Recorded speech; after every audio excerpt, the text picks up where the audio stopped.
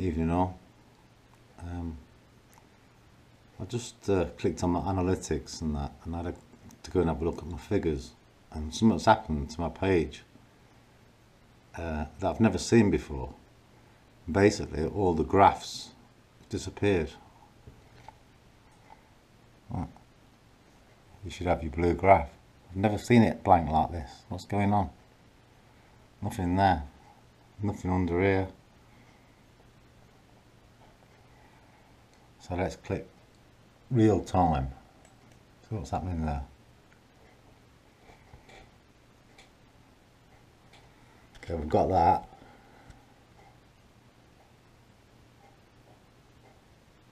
Yeah. What's happening YouTube? Why can't I see my own figures? What are you doing? As if we don't know.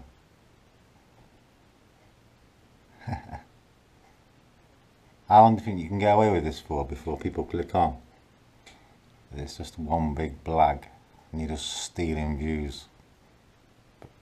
Fucking ridiculous amounts of views on a constant basis.